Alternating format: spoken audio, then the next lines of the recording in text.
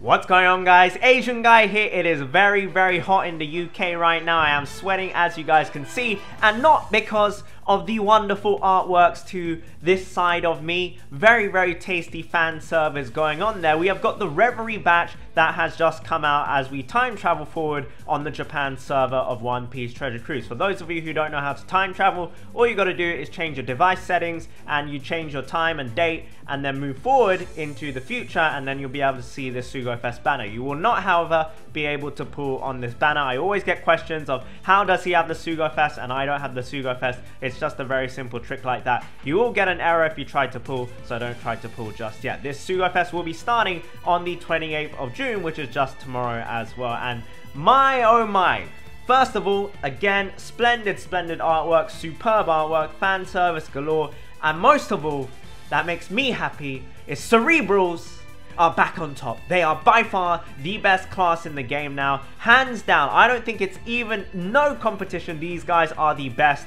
utility units. They have amazing boosts still. In fact, they were like the first class to get a bunch of amazing boosts.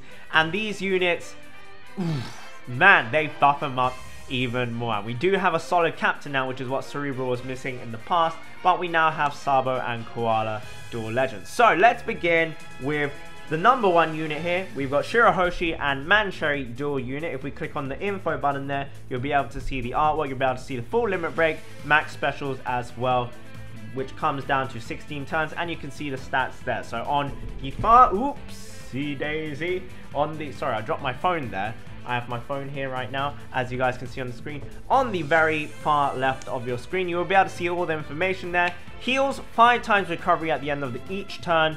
Boost attack with Cerebral, Free Spirit, and Striker units, I've got a little typo there, beg your pardon there, by 3.5 times and prevents defeat if HP is above 50%. Now, this is the dual captain only. If we look specifically at the individual captains, it's not as fancy as that because that dual captain, the prevents defeat whole mechanic there is absolutely amazing. If that was one of the singular captains, that would be so, so, so, so overpowered. So, what Shirahoshi is going to do, I believe this is Shirahoshi's side, yes it is, she's in. At the end of the turn, we heal 5 times her own recovery, that is absolutely a-okay. All units other than herself, Cerebral, Free Spirit and Striker types will have their attack boosted by 3 times and her own attack will be boosted by only 1.2 times. So relatively similar to the original Shirahoshi. And then if we switch over to Mansherry, Mansherry will also heal times 5 her recovery at the end of the turn and she will boost the attack of Cerebral, Free Spirit and Striker units by 2.75 times. So not the strongest of captain abilities there. The dual captain is superb, don't get me wrong. I can see them clearing many, many difficult pieces of content, especially the prevent death mechanic is so, so, so good. And they have inherent healing, which makes your life so much easier but obviously you're most likely going to be using for example Sabo and Koala which has much higher damage output as your captain. But having said that, the latest Colosseum, which is going to be Colosseum Jinbei, does look to be incredibly tedious and designed very heavily for this batch. If you don't have this batch, it, it is probably going to be a struggle. I, I won't lie to you, because look at these specials, guys. Her special or their special will remove 10 turns of any two debuff icons inflicted onto your team. By debuff icons, I mean it can't be, for example, a paralysis or an orb seal or a ship seal on any specific unit or any specific ship because that's not an icon that's debuffed onto you. But any whole team debuffs that you have or any debuffs that just affect your team which comes up as an icon, any two of those, you can remove 10 turns. And it doesn't have to be separate, it can be technically 20 turns of one debuff. That is nuts! That is actually bananas bonkers, I don't know how to explain it. That's that's just ridiculous. It's actually ridiculous. This unit is utility-wise insane. Also a free spirit typing as well. Beg your pardon, I forgot to mention that at the beginning. Cerebrals and Free Spirits, the best classes in the game right now. Absolutely insane units going on right now. But she will also heal 100 times recovery and change all orbs, including block orbs, into matching orbs. Now this is not as good as the original Shirahoshi, which would do all orbs into rainbow orbs, but but there is a twist to it. The removal effect cannot be interrupted and of course they will become a dual unit. So their swap ability, what happens with their swap ability is will reduce one turn of slot bind and silence, which is, I believe that's one turn, let me check if that is one turn of slot, slot bind. That's one turn of slot bind and silence to the entire crew, which is superb. And she will change her own slot into, or their own slot into a rainbow orb. And also, if you have any matching orbs,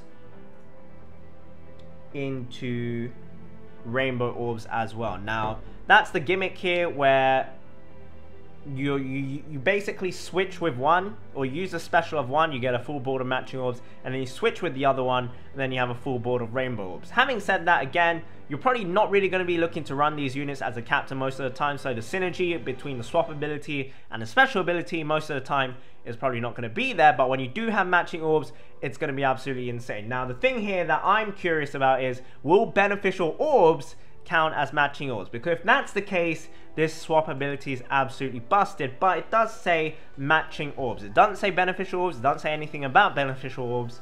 So if it did affect beneficial orbs it would be amazing but if it doesn't I still think it's pretty damn solid as long as you have a high rate of matching orbs. Now the other thing I wanted to point out as well is this part of the special where she changes all orbs into matching can still be interrupted. So it's also worth no noting once you activate this special and you remove X or Y debuffs off your team and then the orb switch, if the enemy has an interrupt for orb manipulation, you're just going to get a bunch of extra debuffs on top of it as well. So this isn't like the be all end all of utility specials where you can remove anything you want because this still doesn't counter, I would say, enemy interrupts that amazingly.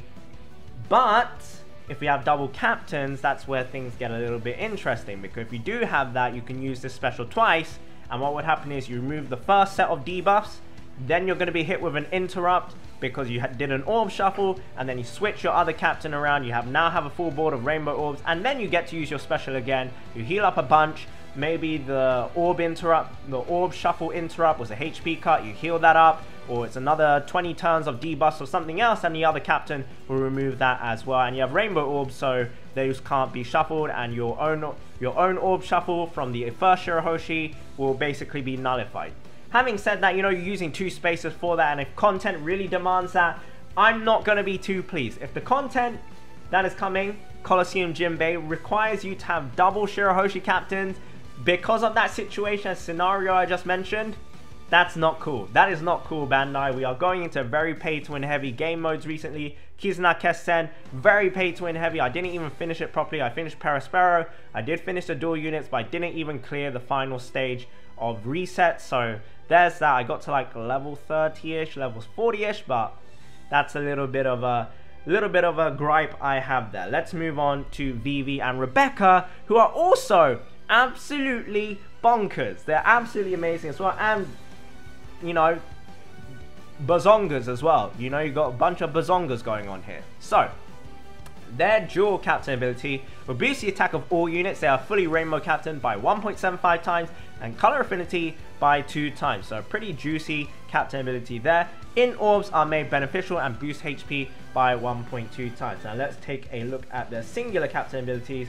Boost the attack of the crew by 1.75 times, color affinity by 1.75 times, boost HP by 1.2 times, and the crew will treat Psyorbs as beneficial and reduce damage taken by 20%. That's interesting. That is the deck side, which is Vivi. Now we have Rebecca. Rebecca will boost attack of crew by 1.75 times, boost color affinity by 2 times, and HP by 1.2 times, and she will also boost, uh, she will make in orbs count as beneficial. Now, my duo, duo captain there must be wrong then. And let me just double check that. It is indeed wrong. The dual captain, what I have there as the duo captain is actually Rebecca's captain. The dual units captain will, in fact, you know what? Let me type this up because uh, it's, it's going to confuse a bunch of people. They will boost the attack of all units by 1.75 times, so that part was still the same. Color affinity by 2.5 times. HP by 1.2 times. And the crew... How professional is this video, guys? And the crew will treat Psy and In Orbs as beneficial. That's not going to fit on that line there. and reduce damage taken by 20%.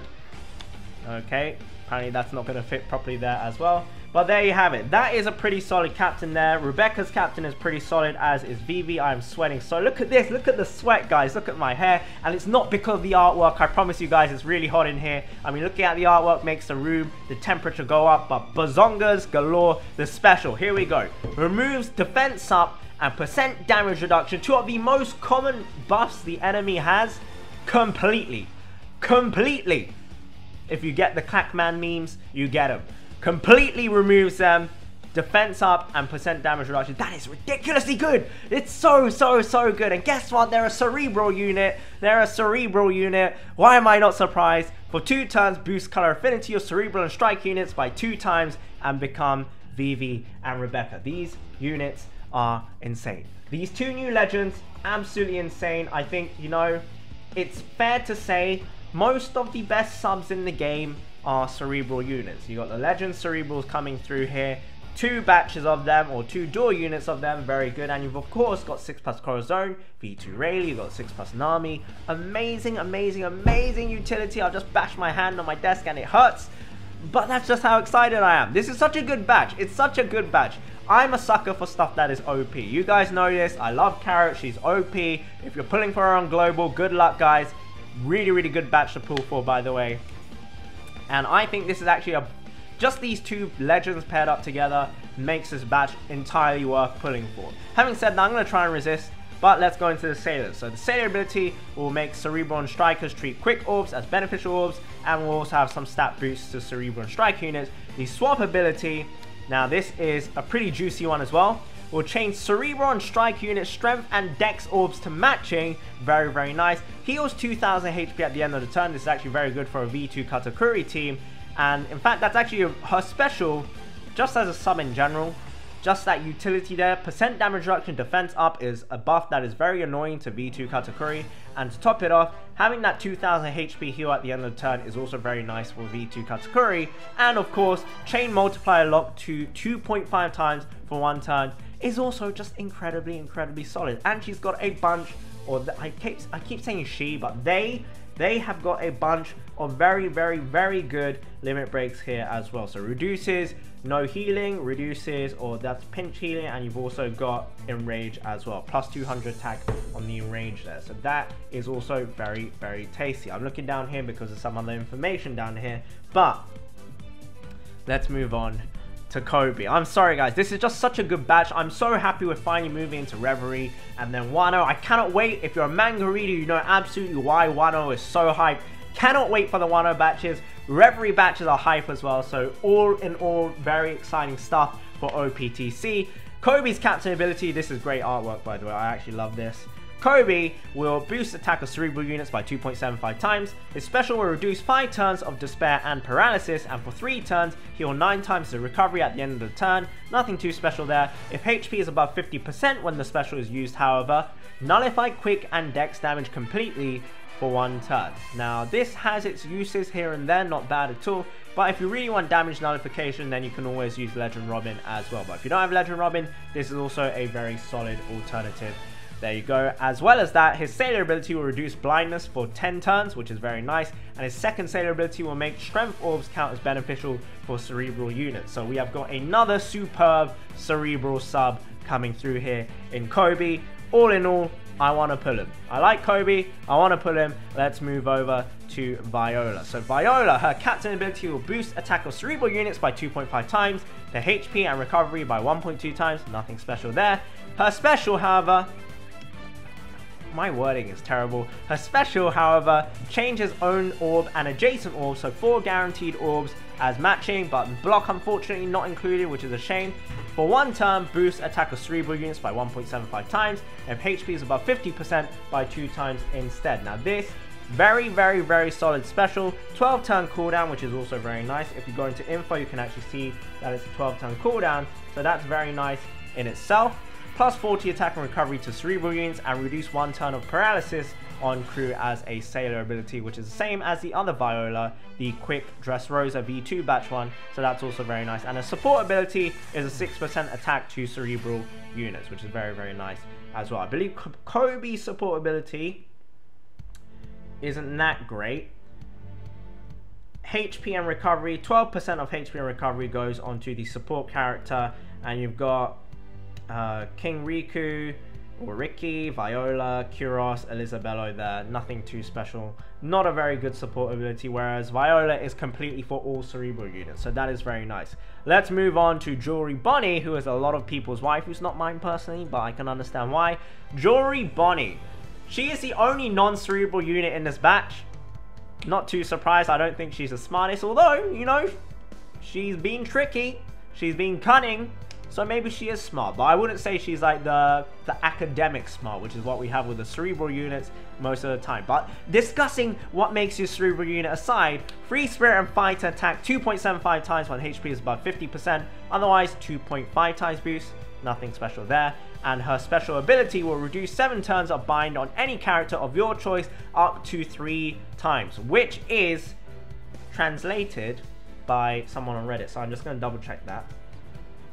Yeah, so you can select 3 times 7 turns, so up to 21 turns of bind reduction. Which is superb on any units of your choice, which in my opinion is superb because a lot of the time we are getting either specifically captain binds or we're getting specific unit binds for over 20 turns. I can see this being very, very, very useful. So I love this special, very, very good. And for 2 turns, this part's a bit weird. For 2 turns, boost orbs of bottom row units by 2.25 times. Now this is a universal special, so it's a universal 2.25 times orb boost, which is cool-ish. I think this is a special that you're most likely going to be using on a mini boss stage, so you never know. Maybe in the future, guys, we'll have a captain that boosts the attack, the top row, and the middle row, and the bottom row of units by different attack boosts. I actually think that would be quite cool let me know what you think about that. Imagine a, a, captain ability where like the bottom row is boosted by five times, the middle row is boosted by like three times, and then the top row is boosted by like one times. I think that would be pretty cool. I mean, we already have Shirahoshi who boosts herself by only 1.25 times and everybody else by three times. That's technically the top row and the rest of the crew is a different boost. So I think that would be quite interesting. Sailor ability 1, 50 attack boost to free spirit and Fighter units. Sailor ability 2, Free Spirit and Fighter will treat recovery as beneficial orbs. They're decent sailor abilities Their Second one is decent there. The support ability though, which is superb, unfortunately only works for Bartolomeo. It's not Bartolomeo. Bartholomew Kuma, but it's a very, very good ability. Once during an adventure, so the first time you get inflicted with bind, which is a downfall of it in my opinion, when your crew is binded, reduce 5 turns of bind on your attack turn. So how this works for the people who don't know how these support abilities work is if you get hit by any form of bind, whether this is like a preemptive from a mob, so it can even be stage 1, stage 2, stage 3, as soon as that their preemptive turn ends, then this support ability will activate and reduce 5 turns of bind. And in many cases you'll see this missing, and when I say missing, it's because it activates after your sockets have already come through and your sockets have already reduced that bind, and if your sockets have already done that, then there's nothing to reduce, right? So it just goes and misses. All in all though, I can see that having very, very useful uses there. Very useful uses there. I'm so bad at wording stuff, guys, but I'm just so much adrenaline because I'm really hyped for this batch. It's been a while since I've been super, super, super hyped for a batch. I love cerebral units, guys. I really love cerebral units, and I really want Sabo and Koala. I do not have them, but it just makes me more excited for one day, hopefully one day, when I do pull them, as I'm talking as if I'm the Sugo Fest King, wink wink, but uh, I'm assuming that I'm going to pull them one day, because I do well on the game. If I have this batch with them, it's like, you know, I, I just feel like they'll be unstoppable. I genuinely feel like these units will be unstoppable, because they're the utility, the debuff removals, the enemy buff removals, they're all there. And I'm loving it. I love how units are now able to just flat out remove enemy buffs. So we got several units now, I'd say maybe like six or seven in the game, where they can specifically target an enemy's buff and remove it completely, even if it's 99 plus turns. And I love units like that because it's OP. It's OP. No, most of the time you can't remove buffs like that or the unit isn't very good. But these units we've got here, very, very, very good. I believe Jinbei, Colosseum Jinbei, I'm just going to read this to you off the One Piece Treasure Cruise Discord. His special ability for 2 turns plus 0.5 times, or plus 0.5 to the chain, not plus 0.5 times. plus 0.5 to the chain, and cut damage over 3000 from each enemy by a very large amount. So this is like a threshold damage reduction, like Raid Bartos. When the captain is a fighter or cerebral character, completely remove damage threshold cut on enemies. So with this Jinbei and also with Rebecca and Vivi, you can completely remove enemies' defensive buffs, which is absurd. That's so, so, so good. I cannot wait to see people using them in action. Hopefully, if I am lucky, I get Sabo and Koala, I get the full batch and one multiple. We all know it's not going to happen. You know what? I'm going to be pulling on the Sugo Fest. I'm just very, very excited for this batch. I am the Cerebral Bum Boy. That's what I am. Thank you very much for watching, guys. I hope you enjoyed the video. Have a wonderful, wonderful day. This is some mega, mega hype units. I know the characters aren't necessarily the hypest for a lot of people. If they're your waifu, congratulations. If you're not a big fan of them, commiserations, but thank you so much for watching, guys. Good luck if you're on Global for the Carrot Sugo Fest, and good luck if you're pulling on this Sugo Fest on Japan, guys. I'm sweating so much. I am high on the heat. That sounds really, really wrong, but thank you very much for watching, guys. Have a wonderful, wonderful day. Remember to hashtag Danke Bandai with Bellissimo, and have a wonderful, wonderful day. And if you have air conditioning, enjoy it, because I am, I am melting. Bye-bye. Bye-bye, voice crack.